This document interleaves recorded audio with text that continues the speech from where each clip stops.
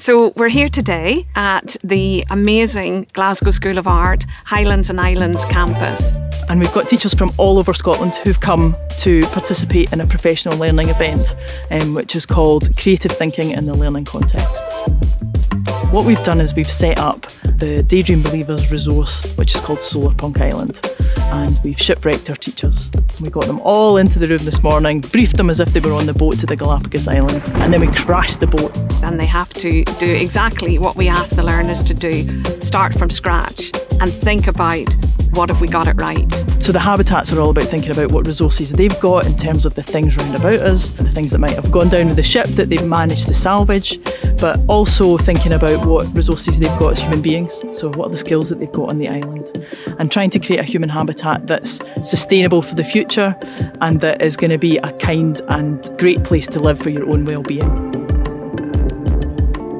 I think a very different experience for, for most professional learning that teachers get to take part in and I think that's really changed the output from the participants today.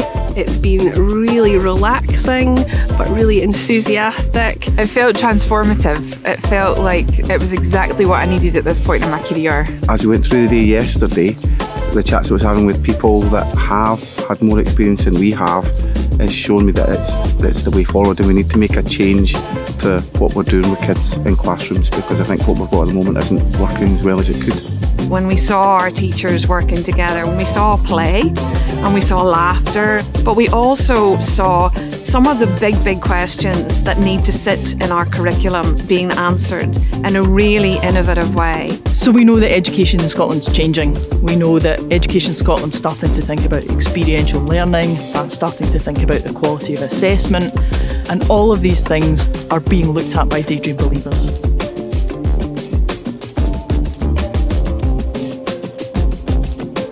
So today is Forestopia.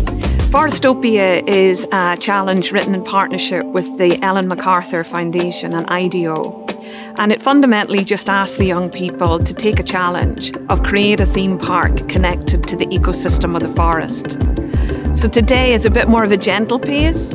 We're going to be out in the woods in this beautiful location and we're going to give everyone an opportunity to listen, to look, and to really learn from the wisdom of nature and to look at outdoor learning, how we can bring that into our curriculum, how we can open up that experience to every learner. This is the educational experience that I want for my children. It's the educational experience that we need in the world because we have no idea what it's going to look like.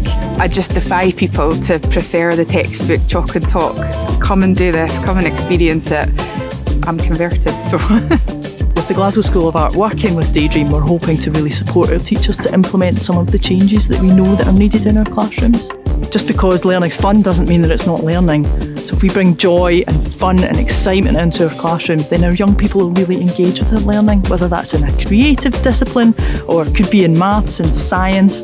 We're hoping to show that this project-based learning approach with fun and joy can really enhance the learning for everyone who engages with it.